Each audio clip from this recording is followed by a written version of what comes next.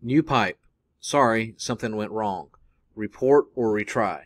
So if you're getting this specific message with new pipe, I want to help you fix the issue here real quick. So first thing I want you to do is toggle your internet settings on and off. So in order to do that, you basically just get your phone, you swipe down to where it'll access the top toolbar row. And I want you to try the global network, which of course is your satellite, but I also want you to try Wi-Fi. So go ahead and turn on the Wi-Fi and then use that instead of the global network, which is of course your satellite, your phone service, and see if that can get you connected. And then you might have to go into settings and turn off the global network.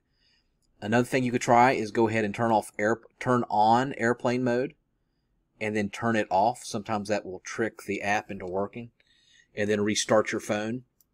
Okay, next thing I want you to do is clear data and clear cache, which is the temporary memory of your um, of your app. So in order to do that, what you're going to do is go to settings, just search for settings on your phone. Click on that. And then what I want you to do is go down to apps. And of course find NewPipe. You might have to scroll down. Click on NewPipe. And what we're going to do is we're going to click on storage. And then from here, what I want you to do is clear data and clear cache. Then back out of that, restart your phone, and then see if you're able to work again. Now, after you, if it doesn't work, go back to settings like we did before, settings, and then go back to apps, and then go to new pipe, and then I want you to look where it says battery. And under battery, I want you to make sure that the power, battery saving power is not on.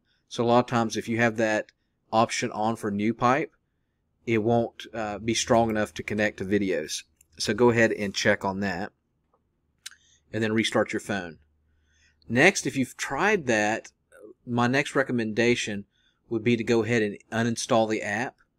And to do that, of course, you just go back to settings like we were before. And then go to uh, apps, then new pipe, and then come over here to the front page and click uninstall. Or if you're if you see the app on your phone, you can just hold it down and then click uninstall and then what I want you to do is go back to Play Store, which is right here, of course, and then reinstall NewPipe. And sometimes that will fix the issue. You could technically go to NewPipe's website, just Google it, and then download it from there. That may help you with the issue. If for some reason you've tried all that, it doesn't work, my only recommendation would be to try a new alternative and Get Hub is a really, really good alternative to NewPipe and try that. All right, make sure you put in the comment section which method worked if it did work. And make sure you hit a like and make sure you hit a subscribe. Thanks again. You! You! Come here! You! Yes, you! I need your help. Come here. You see this right here? This wall's empty. I need a YouTube play button. In order for me to get a YouTube play button, I need 100,000 subscribers. I got what, 20, 30,000 right now? I need 100. I need you, please, you to subscribe. You think my subscription doesn't help? Yes, it does. I need 100,000. I need, I visualize. I visualize what I want in this world. And what I want is a YouTube play button.